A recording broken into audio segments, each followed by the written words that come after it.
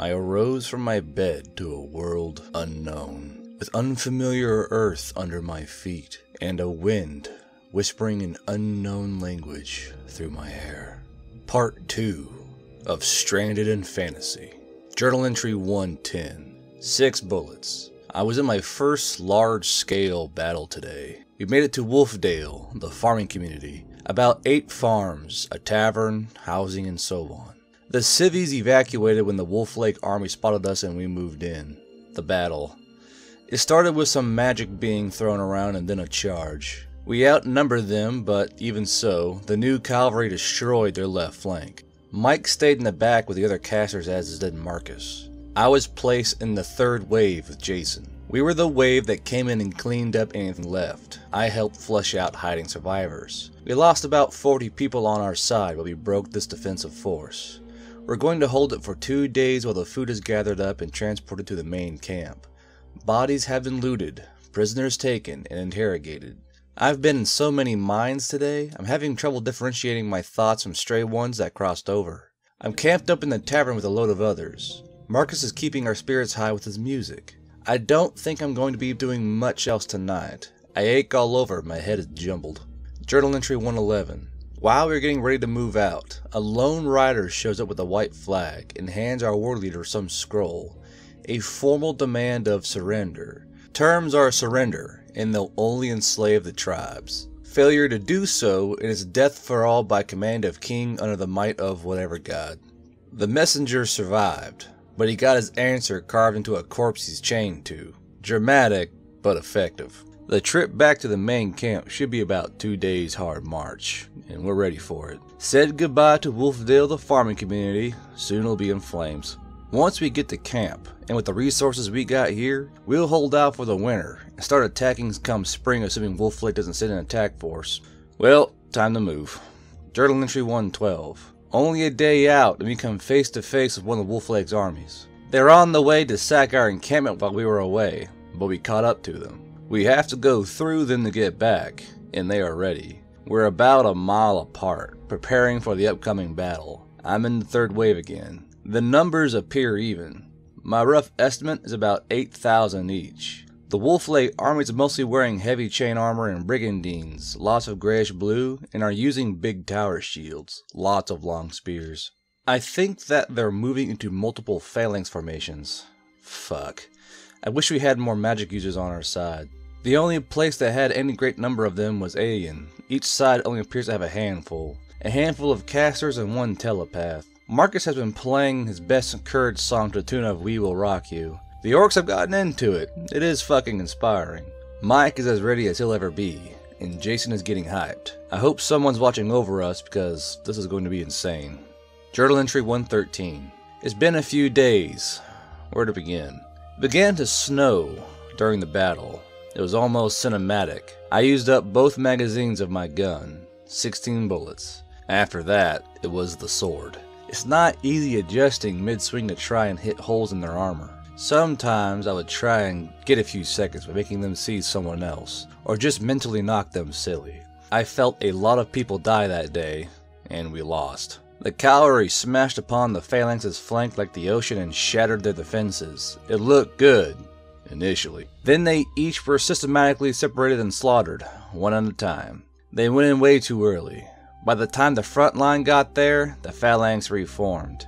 We must have killed half of their force, but we lost almost everyone. I met up with the others. Marcus had taken several arrows but was good enough to move still. Mike was out of magic, but avoided injury. Jason's blind in one eye. A spear got lucky. He was alive, but bleeding everywhere. I was still unharmed, but exhausted by then. We decided to make a run for one of the other four camps to warn them and get medical treatment, magic or otherwise. We were caught by patrol, and I was run down by a horse, trampled, and speared. There was fighting, but then everything faded out. I only remember blackness after that. Journal entry 114. I woke up naked and tied to a rack. The survivors dragged me back. I guess I was still alive. I was healed and to be tortured repeatedly. Not for information, just to make a point. For fighting for the enemy. Any information was just icing. There was only two of them. the cleric and some archivist. The archivist was taking notes on what looked like a huge book. The cleric never got a chance to turn the wheel. I made the archivist think he was me. He murdered the cleric and then set me free. Then I stole anything of use from his mind, then erased everything. A mental format. I stole some clothes and managed to find my things nearby, spread across a table minus my sword. The Kindle was turned on. I wonder what they thought of it. I used one of the cleric's spare robes and managed to get out of the dungeon by making the guards think I was him. I left the hood up, so I only had to manipulate the one looking at my face. I escaped, and now I'm in town. Welcome to Wolf Lake. Journal entry 115. So I have no money. Mike had the money. I'm hiding out in one of the seedier inns. I manipulated the innkeeper into thinking that I paid him in advance for a few weeks, and I was an old friend, and certainly not the stranger the guards were looking for. I got a nice hot meal and a warm bed for my efforts. From what I got out of the archivist, the others were not captured and may still be out there. Meanwhile, I'm here, Wolf Lake is a much larger city than I expected. It's certainly no village.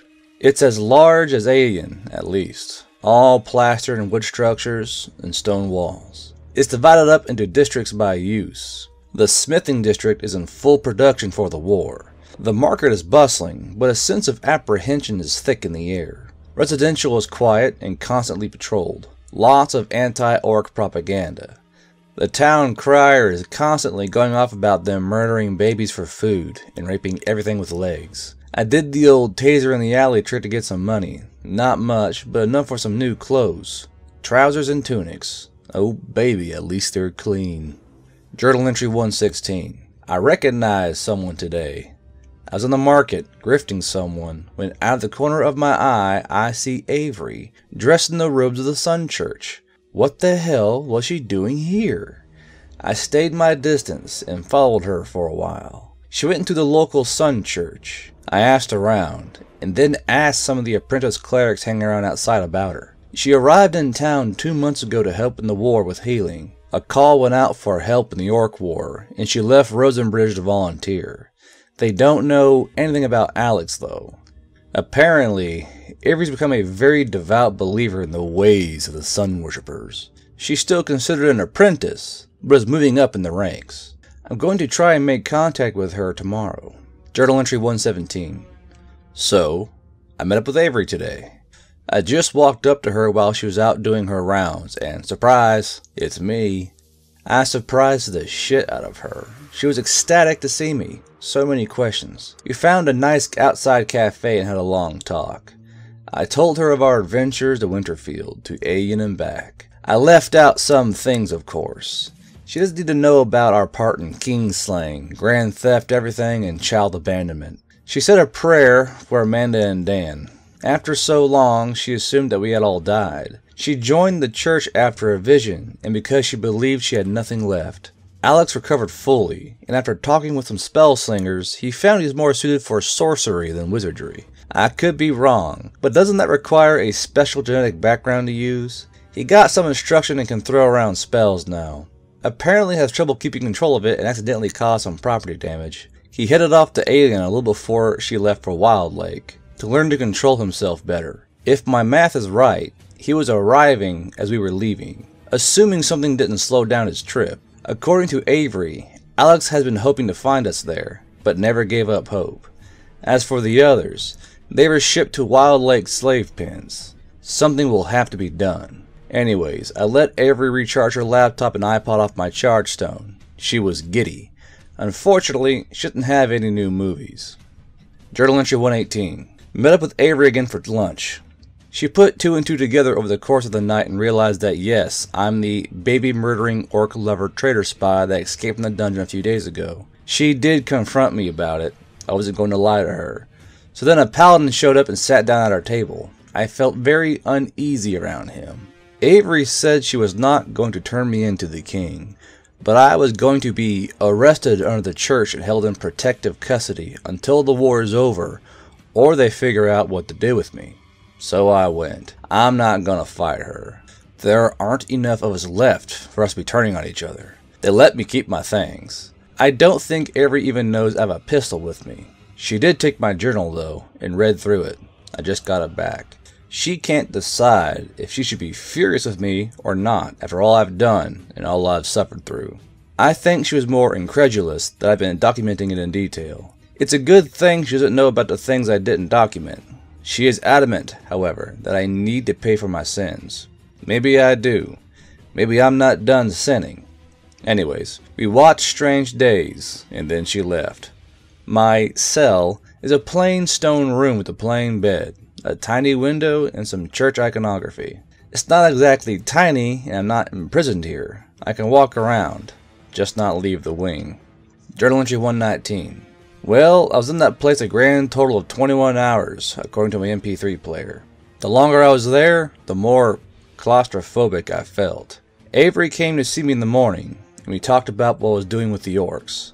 Told her my side of things, and I may have convinced her that this war isn't about good and evil, it's a land grab. Come lunchtime, she was off doing church duty, and I decided enough was enough and walked out. Poked a few minds to get my way, but I didn't hurt anyone, for Avery's sake. I left her a note apologizing. I'm back at the inn. Not feeling so claustrophobic now. I need to figure out what to do. I'm stuck in Wolf Lake with the guards and now the Sun Church looking for me. I bet the rest of my team think I'm dead in the battlefield. Thinking back, getting mind raped by Skinhead McTattoo was the best thing to happen to me on this world. She opened some doors for me. Without that, I'd be truly fucked. At least I have some options. I'm going to poke around town tomorrow and see if I can find anything useful. Journal entry 120. Hey, the city has an airship port. I have an idea. I just have to wait for the airship to arrive. Manage to grift some money and browse the market. News from the war.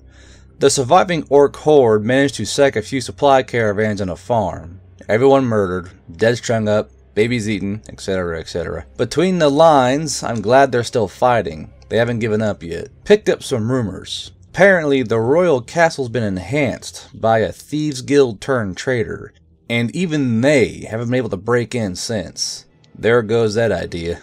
The city gates are locked up tight, only allowing trade caravans in, and anyone not expected gets arrested.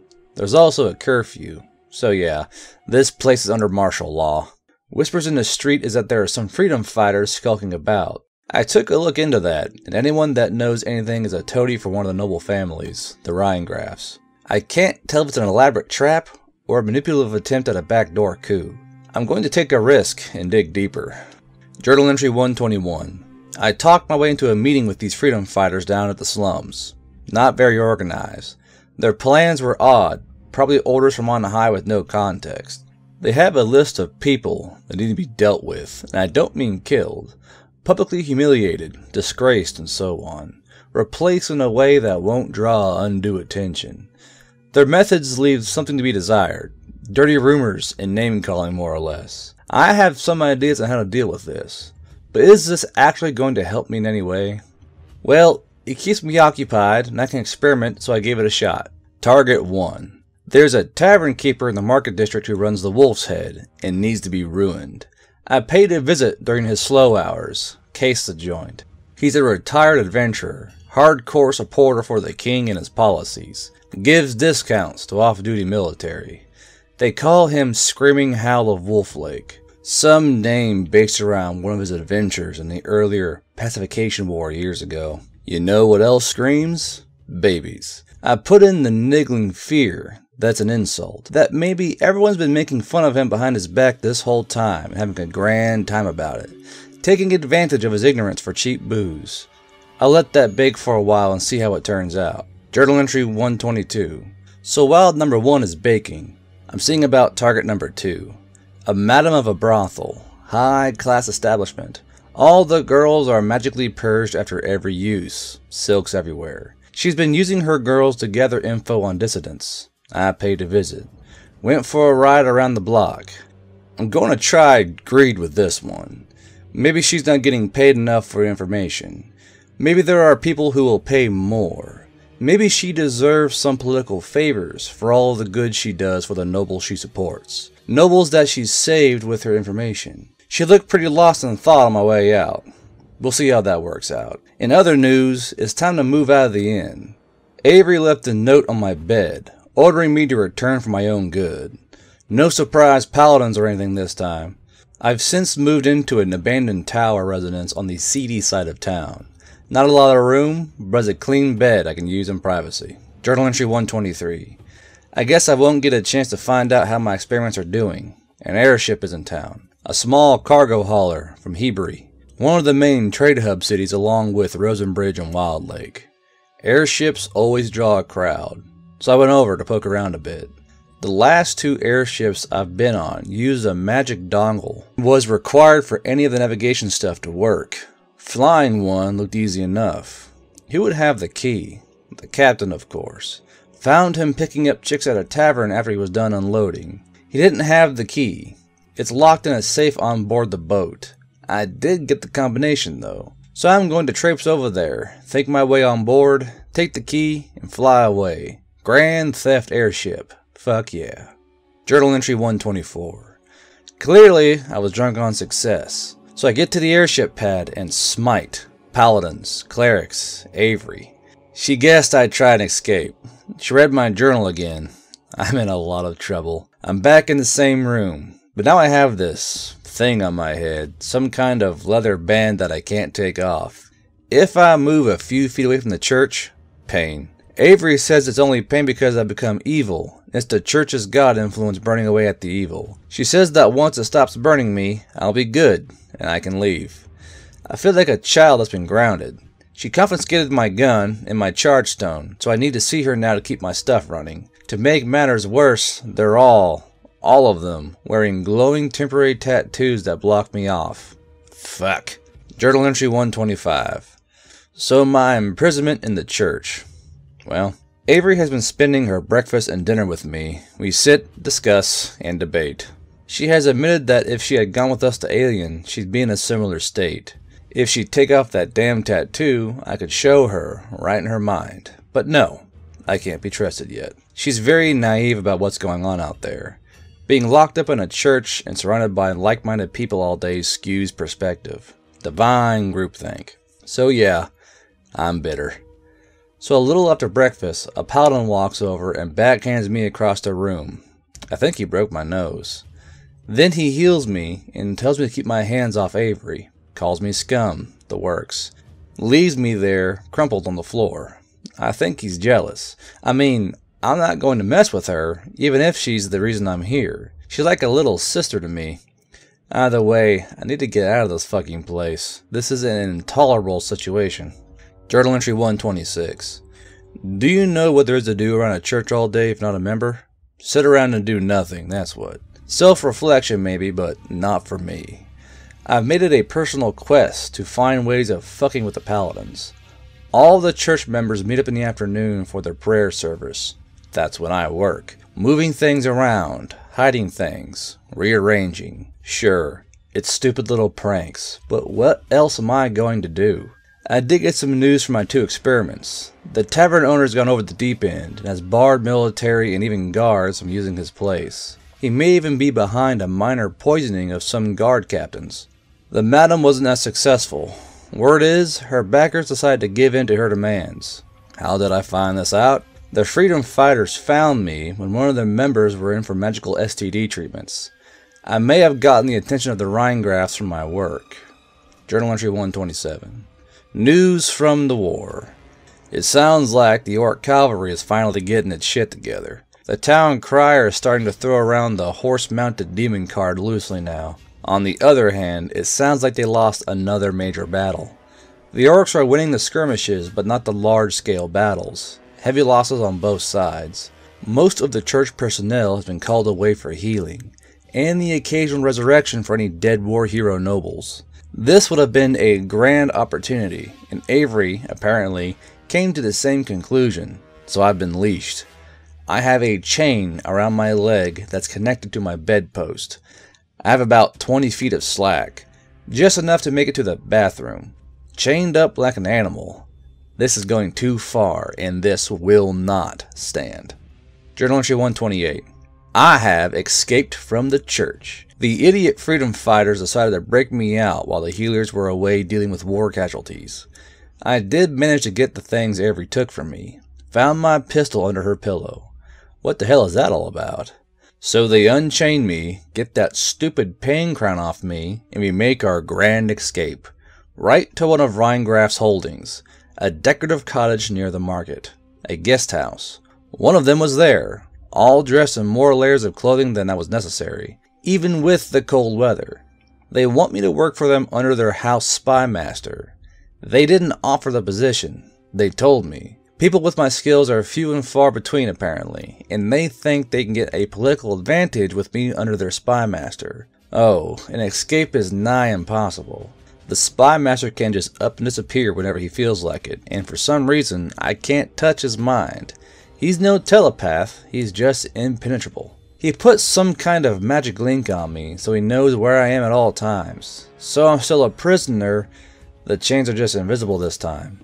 I'm a commodity rather than an animal. Wonderful. Journal entry 129. So the Rheingrafs.